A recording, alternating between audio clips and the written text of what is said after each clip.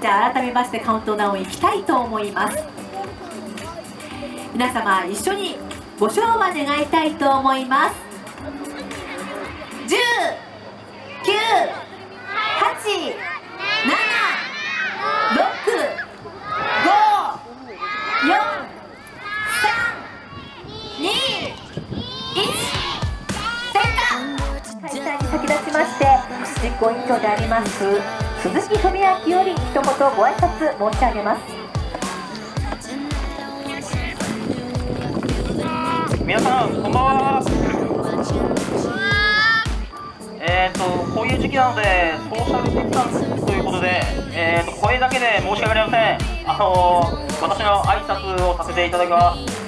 えーと、今回は、えーとまあ、コロナということもあって、えーと、協賛してしていただいた方々だけの、えー、今回花火大会となってしまいましたけど、まあ、あの去年より協賛金集ま集ま集まったんで、えーと、本当に皆さんには感謝を申し上げたいと思います。えーとまああの本来ならばたくさんの人でにぎわって楽しんでた花火大会だと思いますけど今年はまああの全国であの花火大会が中止になる中できたことは本当にすごいなと僕はあのー、かあのすごいなと思っております。でまた来年には本当にあのー、もういろんな人たち集めてもっと盛大な花火大会にしたいと思いますので皆さんどうか最後までよろしくお願いします。ありがとうございました。実行委員長鈴木文明より皆様に、え感謝の気持ちとそして開催に向けてのご挨拶をさせていただきました。ありがとうございました。えー、こちらのカードではですね皆様に必ず付付でですねお名前とそして検温お願いしておりますのでまだ住んでないという方は必ず付付でですねお名前と検温そしてねアルコール消毒の方をお願いしたいと思います、えー、そして、えー、今飲食ブースは一旦、えー、通知させていただいておりますので花火終了後にまた開催させていただきますので、えその時からまたお並びいただいて応援食お楽しみいただきたいと思いますのでよろしくお願いいたします、え今年も本当にたくさんの方にご協賛いただきましてありがとうございます。ご協賛いただいた皆様のお名前をご紹介していきたいと思います。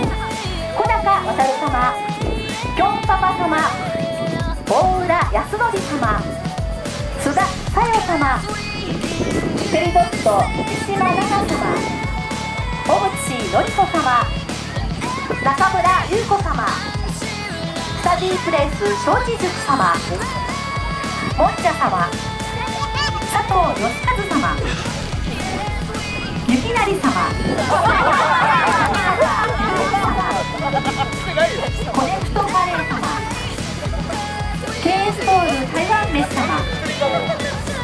株式会社フェリックス様。野中徹様。稲持正幸様。成島雅人様。次光様。黒川健二様。瀬戸弘和様。中里博様。田部秀夫様。橋武様。田村真也様。大木製作所様。高田由紀様。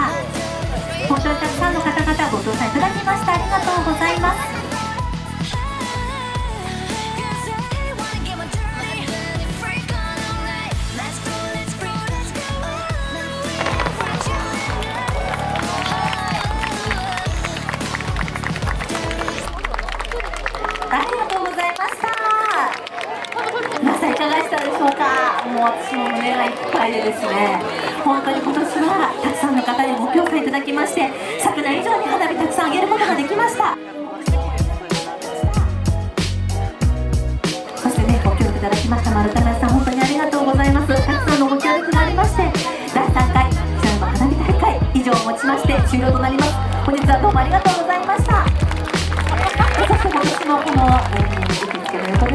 はつくば市にございます。